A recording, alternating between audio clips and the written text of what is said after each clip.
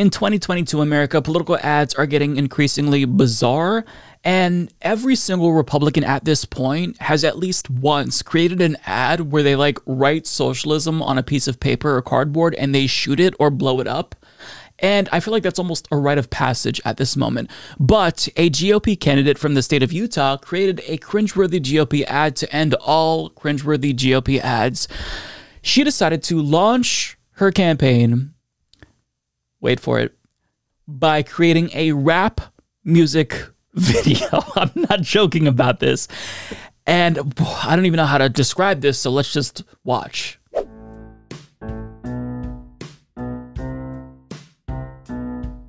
Hey, Utah District 12, listen up right here. There's a new name on the ballot for the Senate this year. My name is Linda Paulson, Republican and awesome. Love God and family and the Constitution. I tried to get another conservative to run. Nobody could do it, so I'm getting it done. I'm pro religious freedom, pro life, pro police, the right to bear arms, and the right to free speech. I want less government control and regulation want to stop and expose all political corruption where's integrity, morality, accountability. Government programs should lead to self sufficiency and support traditional family as the fundamental unit of society. But in schools, they're pushing for new beliefs. And just to clarify, as a female adult, I know what a woman is.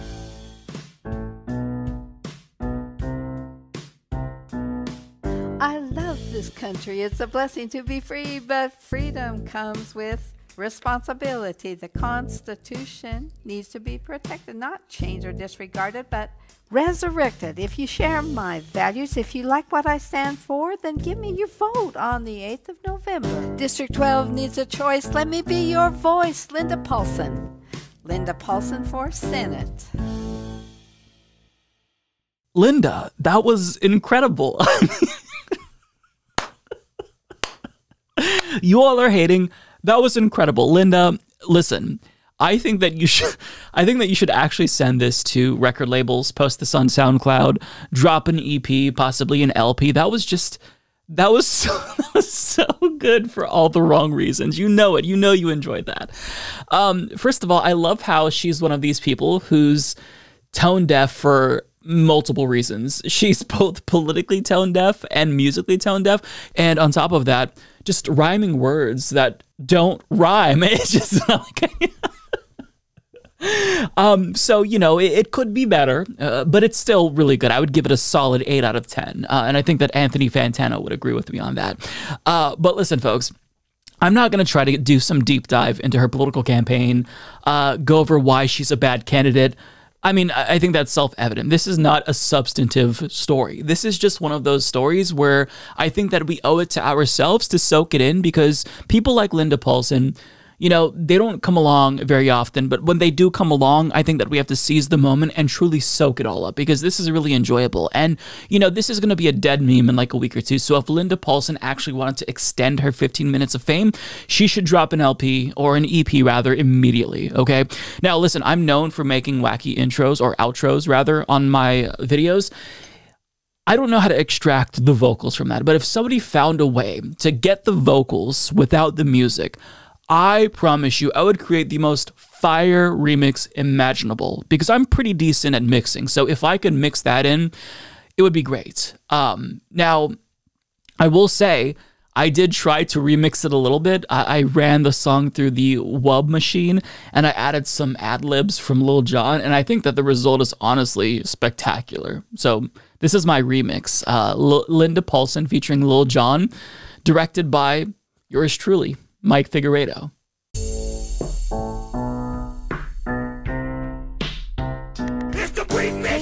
District 12, listen up right here. There's a new name on the ballot for the Senate this year. Bitch. My name is Linda Paulson, Republican and awesome. Yeah. God and family and the Constitution. What?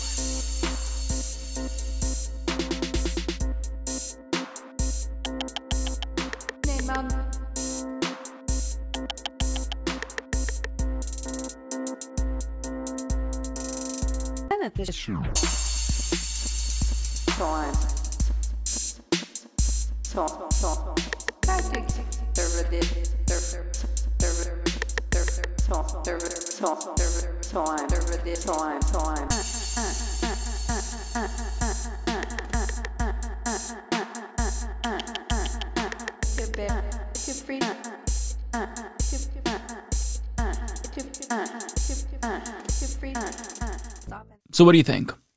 I don't think that it could beat the original, but it's still fairly good given that, you know, I, I, only worked on it for like 20 or 30 minutes, which is a lot of time to dedicate on a Monday when I'm trying to film like multiple videos.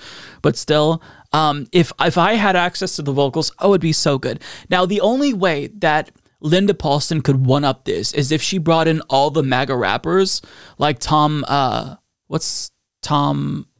What's the MAGA rapper, the blonde dude with the face tattoos? I'm, I'm blanking on his name. I was gonna say Tom Holland, but I'm pretty sure that that's Spider Man. No, it's it's Tom MacDonald. That's who it is. So if she brought in Tom MacDonald, brought in Buddy Brown, country MAGA sensation, and they did this like giant "We Are the World" esque remix of this song. It might be so cringeworthy that it literally rips a hole in the space time continuum, but it would be worth it just to see the way that it looks, just to see what that level of cringe would be like. But overall, look, folks, I, I want to ask you all this question and comment below, okay? Is she a cringeworthy grandma who should just not have done this? Or is she kind of a genius? Look, I might shock some of you, but low key, I think she's a genius because nobody would know who Linda Paulson is had she not subjected herself to that. Is it cringeworthy? Of course. Is she never going to live it down? Obviously, she's never going to live this down. Her grandchildren are never going to want to be seen in public with her again. But this went massively viral for all the wrong reasons. I'll grant you that, yes. But millions of views.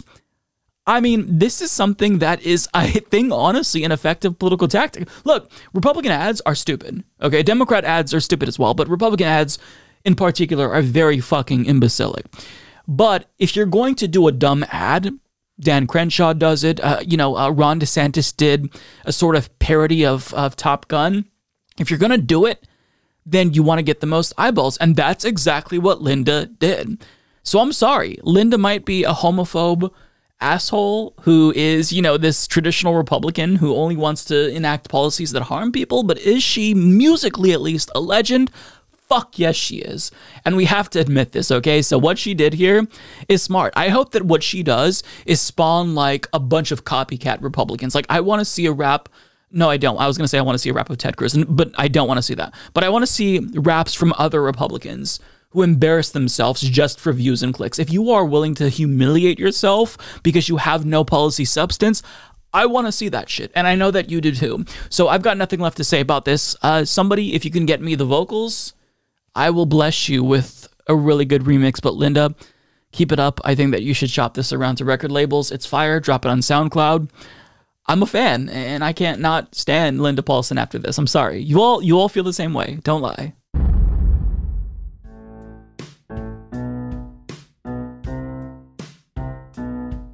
Hey, Utah District 12, listen up right here. There's a new name on the ballot for the Senate this year.